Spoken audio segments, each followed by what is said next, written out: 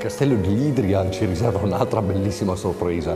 Ai piani alti un museo storico sulla vita della Slovenia incredibile, c'è di tutto qua dentro, compresi i cartelli che dicono che si parla solo tanto italiano, e poi i ceppi, e poi ho trovato anche un ottimo compagno di viaggio per andare fino a Pechino in motorino.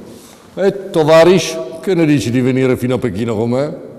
Non pare molto entusiasta. Товарищи ученые, из книги судеб следует, Что все там будем, бедны ли, богаты, все равно.